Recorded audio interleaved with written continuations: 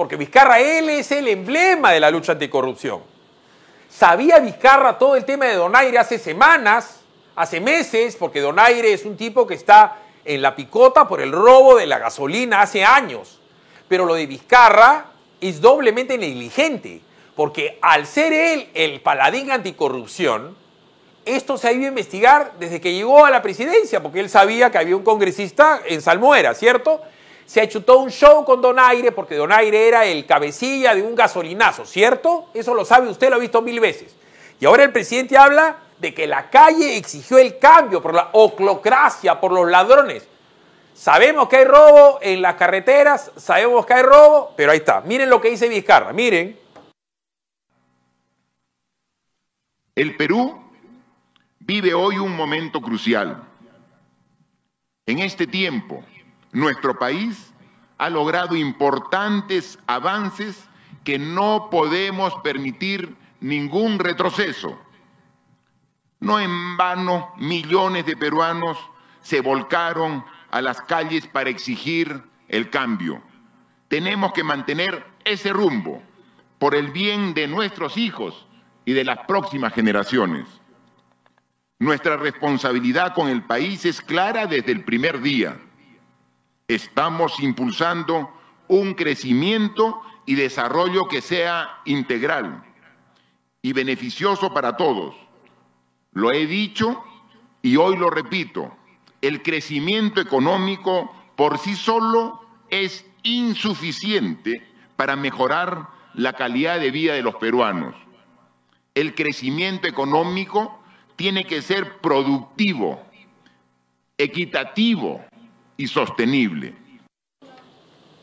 ¿Y qué, él es el paladín. Ahora, ¿qué dice Walter Martos, el ministro de Defensa, al respecto de esto de los robos sistemáticos de gasolina? Mire. En este, en este altar están las tradiciones y cultos de respeto y honor a nuestra patria.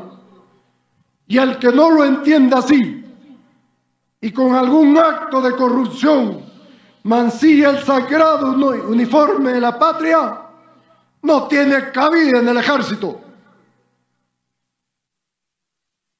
La fortaleza de nuestro ejército no está en sus tanques ni en sus fusiles, está en los valores morales y en la fuerza espiritual que sustentan a cada uno. A ver, el general Walter Martos es un general en la situación de retiro pero estamos en línea con el general en situación de retiro Otto Gibovich, que ha sido también comandante general del ejército como lo fue Donaire. Y general, me va a disculpar, en la opinión pública hoy está con que todos ustedes los militares roban en la gasolina, porque así lo ponen en buen romance siete portadas de periódico al estilo Donaire. ¿Qué le parece a usted esto justo en el Día del Ejército? Muy buenos días, general Gibovich.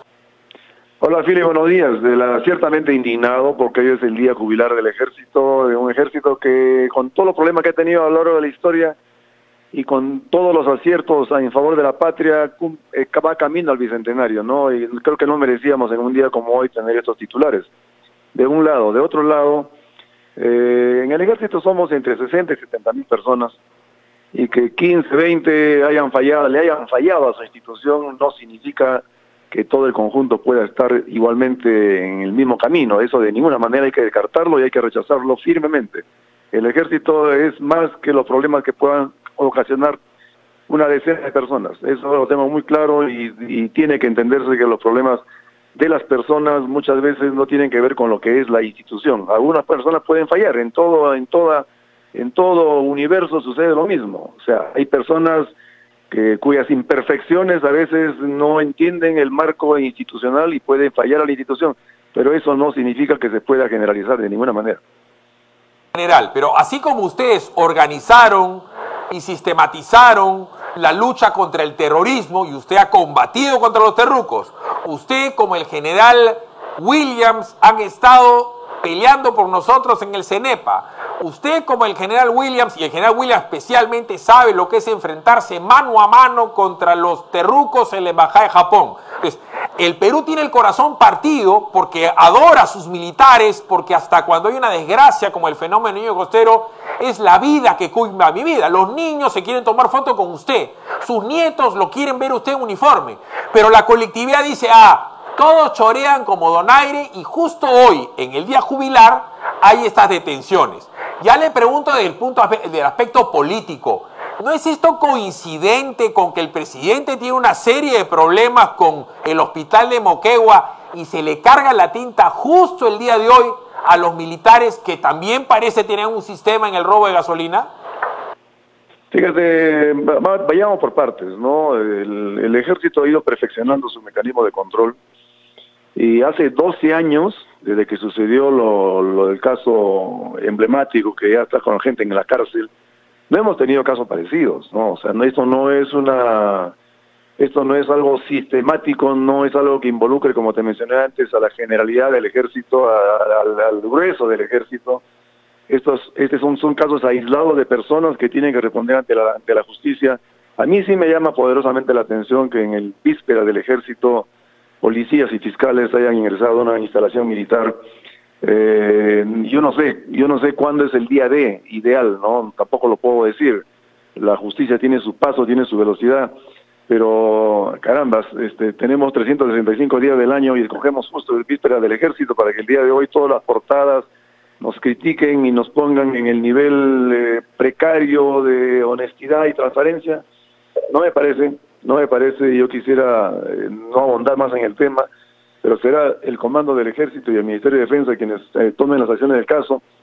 Eh, hay mucho por hacer, pero ustedes saben también en política muchas veces no hay coincidencias, hay que tener cuidado con esto, pero más allá de ello, Filipe, te recuerdo, el ejército a través de los ciento o casi 200 años, en víspera de 200 años, ha tenido altibajos, hemos tenido problemas, hemos tenido grandes aciertos en la defensa de la patria, y nos mantenemos incólumes. La institución se mantiene incólume.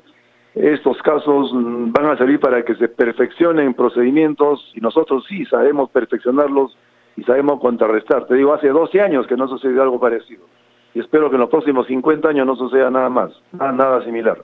Acá lo, que dice la portada del Ojo, el diario, que es un diario popular, te dice, ¿no? Al estilo Edwin Donaire saquearon sistemáticamente el ejército peruano desde el 2013 cuatro generales, 22 detenidos, pero como usted sabe, se han allanado supuestamente 14 instituciones militares, la Escuela de Adoctrinamiento del Ejército, Escuadrón de Caballería, han entrado a un montón de instituciones militares, jueces y fiscales, mejor dicho, fiscales de prevención del delito. Esto es algo que la gente todavía no entiende, o sea, Acá lo que están tratando de hacer es decir que este sistema es mucho más grande de lo que parece, porque por algo han ordenado allanamientos a instituciones militares, de eso usted está enterado. Escuela de Caballería, de Adoctrinamiento del Ejército, acá en Lima y en provincia, son como 18 intendencias del Ejército que han sido allanadas o que van a ser allanadas. Mira, eh, has tocado tú un tema, la escuela, la escuela de caballería, la escuela de caballería. La escuela de caballería que yo conozca, no emplea más combustible, una pequeña, ¿qué será? ¿20 galones al mes? No lo sé, no quiero entrar en pormenores, Philip, pero eh, habría que ver, y esto lo vamos a conocer poco a poco, qué es lo que ha sucedido, y espero que sea justicia, y ahí en la lista de nombres, por ejemplo, yo detecto varios nombres de personas que conozco, cuando eran, son jóvenes oficiales, y siempre han sido brillantes oficiales, me extraña verlos en esa lista, ojalá que no se hayan cometido excesos, eh, al menos por lo que conozco algunos de ellos, sé que no tienen eh, ninguna razón para estar en esa lista. Espero se haga justicia y que esto no vuelva a suceder. Ciertamente eh, la noticia como está presentada sirve para el, escándalo, sirve para hasta para la mofa seguramente, pero las instituciones están más allá de lo que puedan hacer cuatro o cinco personas, ¿no? Y eso, eso lo tengo muy claro. hoy es el día de mi institución, yo he servido por más de 35 años y sigo siendo parte de esta gran institución y estoy dolido porque se esté tratando en casi todos los titulares de esa forma una institución tan grande, la institución de Boloñés y de Cáceres, de, tanta gente, ¿no? Del soldado desconocido que dio la vida por la patria y por cuatro o cinco personas, digamos, digamos, digamos 20 personas, no es justo que a toda una institución de 60 mil personas se le involucre, se trate de esa manera, de ninguna manera, ¿no? Eso, eso hay que, eso hay que tenerlo muy claro. La institución es mucho más grande que lo que pueda hacer cuatro o cinco personas o veinte personas. Eso no significa ni el 000.1 de lo, de lo que somos en el ejército, ¿no? Ahora, ha, sido usted muy amable con nosotros, General Giovich. Muy buenos días. Gracias. Son 7 de la mañana con 51, como le decía General Giovich. Yo me quedo como usted con este titular. ¿no? Desde el 2013, 22 arrestados. Han, han hecho allanamientos en casi todas las instituciones tutelares del ejército. El ejército es una institución tutelar. Pero ¿qué, ¿de qué se trata la tutela? Del adoctrinamiento, del conocimiento del Perú profundo para tutelar la democracia, la integridad territorial, la soberanía nacional. Por eso se llama institución tutelar. Pero han allanado sitios en todo. O sea, ¿qué ha pasado? ¿Por qué se ha hecho este escandalazo? Creo yo que es para tapar el pitufeo del moqueguazo. Si no, ¿cuál es el sentido? ¿No sabían que se podía robar sistemáticamente desde la época de Donaire? Y si el general Guido me dice que hay perfeccionamiento de sistema, ¿por qué justo hoy? ¿Por qué justo hoy? ¿Por qué se ha hecho esto? Los canales de televisión se olvidan del, del pitufeo y tocan otros temas. Fíjese lo que dice el general Martos ya con respecto a la lucha anticorrupción. Martos, por si acaso, es muy probablemente hasta promoción o ha sido jefe de los que están en la cana, porque él es un general en retiro y es el actual ministro de Defensa. Y vuelve a hablar de la lucha anticorrupción el día de ayer. El día de hoy es el día tutelar del ejército, pero justo ayer, este floro, cuando toda la familia del ejército sabía que estaban cañando a sus pares. Miren. Hoy tenemos una batalla diferente al de la pampa de la quinoa. El enemigo ya no es algo externo. El verdadero enemigo está dentro de nosotros.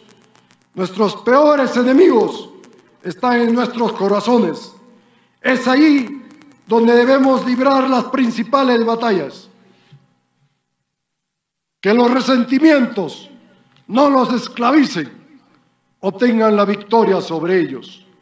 Que el odio, el rencor no los esclavice, obtengan la victoria sobre ellos. Que la sed de venganza no los esclavice, obtengan la victoria sobre ellos. Que la corrupción no nos esclavice, obtengamos la victoria sobre ella. Pensamos a nuestros enemigos internos y entonces, solo entonces, nos libraremos del egoísmo, de la corrupción y encontraremos esa unión y solidaridad que tuvieron nuestros compatriotas en esta pampa y con la cual consiguieron nuestra libertad. Bueno, suena muy bonito, pero lo mismo dice Vizcarra, lo mismo decía Villanueva. Lo mismo decía Vizcarra, lo mismo decía Villanueva. Y fíjense, Vizcarra, gobernador regional de Moquegua, con un problema inmenso en el hospital de Moquegua. Zenón Cuevas, rojo, antiminero, y es pro Vizcarra, el tipo se tira a la piscina para defender a Vizcarra de una denuncia que tiene años de años en Moquegua. Porque Vizcarra hace años. ¿Por qué lo defiende Zenón Cuevas? ¿Qué pito toca él? Él tiene que estar del lado de los moqueguanos. Me quiere decir entonces Vizcarra que como también ese sistema sigue vigente, es decir, el sistema mediante el cual la ministra María Antonieta le tiene que dar plata a las regiones y las regiones le tienen que dar plata a los proveedores, porque María Antonieta Alba está diciendo que hay que gastar y gastar y no lo logra. Entonces ella va a qué? Va a entregar plata a las regiones para que gente como Zenón Cuevas de repente está haciendo exactamente lo mismo que Vizcarra. De repente Zenón Cuevas también está girando adelantos de obras a un montón de empresas como un montón de presidentes regionales que apoyan a Vizcarra y no lo pueden echar porque está, va acabando diciembre. Entonces, ¿cuántas empresas en el Perú están recibiendo 100 cheques, 200 cheques al día? Porque ese es el sistema. El pitufeo de Moquegua puede seguir sucediendo. Ojo con Zenón Cuevas, que lo defiende con locura, con pasión, con frenesía Vizcarra. Miren. al gobierno, socavar, corroer, golpear, ¿no? Para que al finalmente la mafia, la corrupción finalmente pueda quedar así como está. O sea, finalmente diga, no, aquí no ha pasado nada. Pareciera que esa es la intención. Si dice que es el, el 31 o el 30, creo, del, de, diciembre, ¿qué pasa, miren, en estos casos? Eso no es ningún secreto. Al finalizar un ejercicio, ¿qué pasa? Se trata de comprometer, ¿no? Comprometer el máximo recurso posible para que ese este, dinero no revierta. Si te gustó este video, ya sabes, dale like y únete a nuestra inmensa comunidad en el PBO Digital de nuestro Facebook. Mueve la campanita, suscríbete en la página del PBO Digital de YouTube. Y por supuesto, comenta y comparte en nuestro arroba PBO Digital vía Twitter. CompuPalas es el mayor centro tecnológico del Perú y está a dos cuadras del óvalo de Miraflores, a la altura de la cuadra 53 de la avenida Petit Duars. Amplísimos e iluminados locales para que compren la tecnología a su alcance. Computadoras, Macs, iPhones, iPads, Androids, Samsung, servicio técnico y todas las seguridades están en el centro de Miraflores con CompuPalas.